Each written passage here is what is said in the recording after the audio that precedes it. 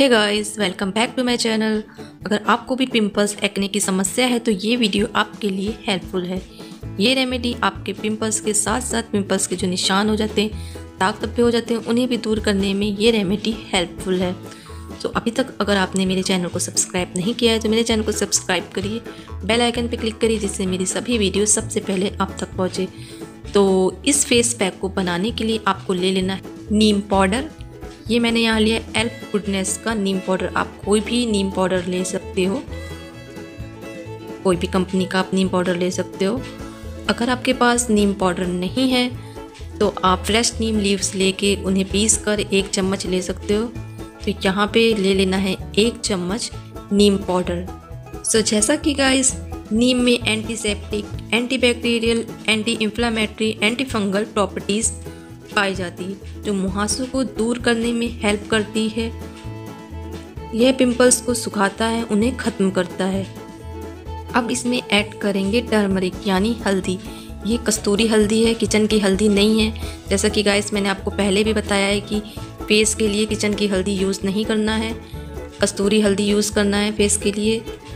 तो टर्मरिक में होती है एंटी इन्फ्लामेटरी प्रॉपर्टीज़ जो स्किन में नेचुरल ग्लो आता है अनइवन स्किन टोन को सुधार और आपकी त्वचा को चमकदार बनाती है।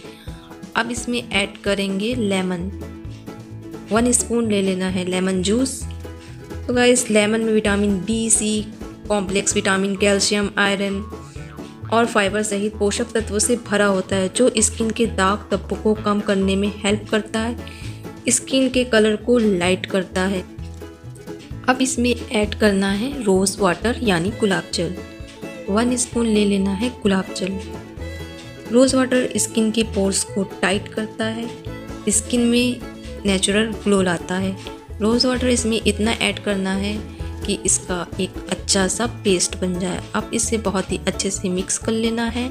सो so, इसको अपने फेस पे कैसे लगाना है इस फेस पैक को? सो so, इस फेस पैक को लगाने से पहले आप अपना फेस वॉश कर लें।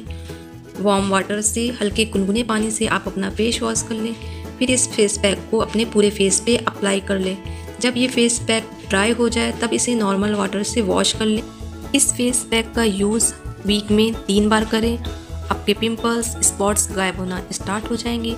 आपका फेस ग्लोइंग बनेगा। आई होप ये वीडियो आपको अच्छी लगी हो।